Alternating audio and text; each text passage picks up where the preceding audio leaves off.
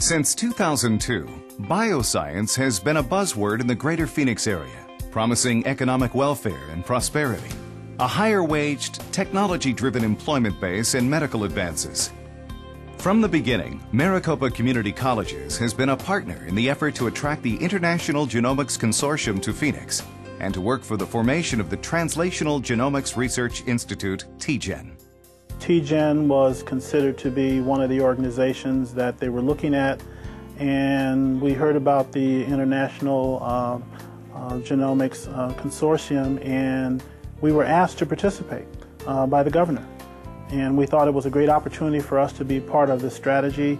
Uh, we are the largest provider of workforce training in the state of Arizona, and we were excited. Uh, we think it is part of our mission. We think it helps us to meet the workforce demands in the Valley. And we know that for every bioscientist, uh, PhD, MD, they will need between 8 and 12 technicians. And we believe that uh, our expertise is to produce those technicians. The Maricopa Community Colleges committed $1.5 million for program development in biosciences, a commitment that already has been exceeded. Maricopa also entered into a $1 million affiliation agreement with TGen over a period of 10 years. Funding provided by the voters through Proposition 301, a measure that dedicates a portion of state sales tax to education, has enabled Maricopa to expand its bioscience programs even further. The exciting academic affiliation between Maricopa and TGen has brought real dividends already. Maricopa students and faculty members are gaining hands-on experience in TGen labs. So many times we think of internship experiences as doing gopher work, uh, as being in the environment but not being a part of the environment. Our students are actually a part of the environment. Our faculty are a part of the environment. They are side by side. Uh, and I think it, it, it really helps our students, again, for those students who are really searching to, to think, is healthcare, is research, is bioscience a profession I want to get into? And I will tell you, this will either suck someone in during the first six months or uh, have our students consider that they might want to look at another area of uh, the profession. We're actually extracting DNA from formalin-fixed paraffin-embedded tissue, and we're going to be using that to um, distinguish separate genes that actually help determine whether somebody is going to develop colon cancer or not. Yeah, I think I was really prepared here, so um, I didn't have to develop any skills. Um, MCC developed those and I just perfected them here. At the time when I spoke to my counselor at ASU, I was actually in a different major. So going to Mesa Community College actually helped me find my true calling. I came here as an intern through the Mesa Community College uh, biotechnology program and I've been here for six months. I work in the hematological malignancies research unit, and we are studying uh, multiple myeloma, which is a cancer, and I'm working with new technology. I've learned a lot. it was a lot better than I expected. I expected maybe as an intern that you would be doing more of, a, of an assisting type uh, position. However, I've been given my own project and have uh, been working independently the entire time, so it's been very rewarding. I started at ASU and then I uh, went to the community college system because I felt that there was more hands-on training and I felt there was more individualized instruction and that's exactly what I got. It is an excellent system where you can actually learn both technology skills, hands-on training that you can apply in a real laboratory and you also receive uh, more individualized instruction.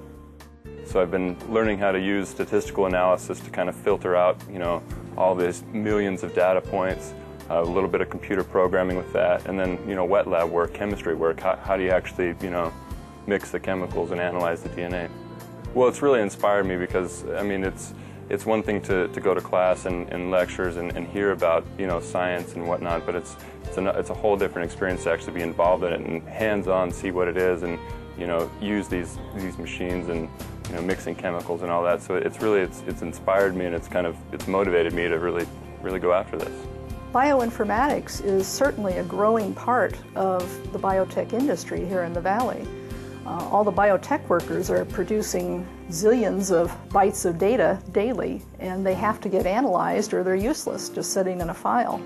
So there's going to be a huge demand for bioinformatics workers, um, as well as the actual lab workers producing the data. And I'm looking that my uh, people coming out of my two-year program someday will help to meet that demand by providing some good analysis of the data, and also that eventually they'll progress on towards more advanced degrees at the state universities. One of the major bonuses that I feel I'm getting from this internship is building bridges between Maricopa colleges and TGen. TGen also has benefited from this academic affiliation. I think the college students give a little bit more. Um, they have they're a little bit more mature. They're a little more into what we're doing. They have they've had some lab courses underneath their belt. They understand basic technique, um, which is a great asset that we don't have to spend you know all of our time kind of babysitting them. Um, Stephanie was wonderful. She came in um, knowing a lot of the background already. Um, she's worked in the field before and she could come in and she basically hit the ground running and has never stopped. And they seem very highly motivated, very high ambitious. Um, you know, lots of they want to learn. They have a great intent for learning. Um, they're all she's all, I mean, especially Stephanie. She's always asking questions.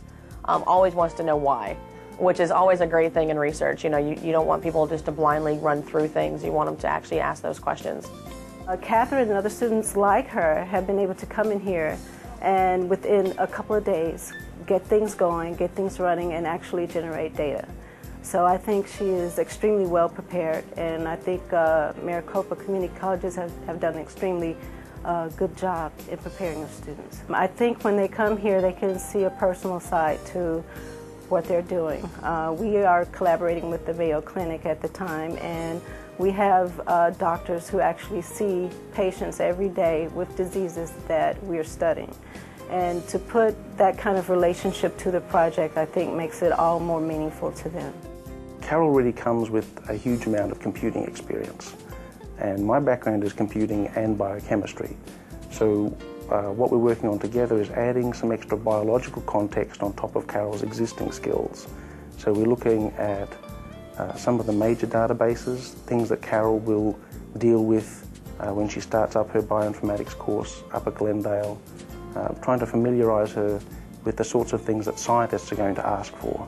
Because I guess that's what ultimately drives the work we do is it, it's never done in isolation. We only try and do work that delivers value for the scientists. Part of the success of this is when it benefits both groups in both directions, and I think this has been a, a great example of that. I, I, personally have had the chance to talk to students on uh, three of the campuses over the course of the last year uh, year and a half, and, uh, and I know many of the other uh, faculty have enjoyed that uh, as well. Well, I'd say the first word that comes to mind is enthusiasm. Uh, just a sense of competence would be two, and then third, a sense of breadth, a sense of uh, some added experience we frequently see from these students. So add that all up and it's really a very strong positive.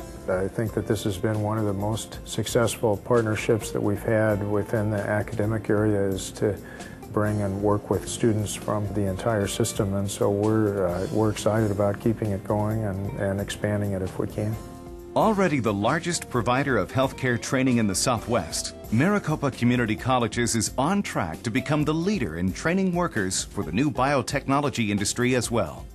We're known for teaching and learning. 80% of what we do is teaching and learning and hands-on. And I think that it has proven itself with this program because our smaller class sizes allow students to uh, talk to that professor, to get more engaged, to work more in, in terms of, of partners, and for, uh, for us then to partner with our uh, business community to give them an opportunity to go out and see if what they learned in theory and in a small environment of research is really applicable in, in the work world.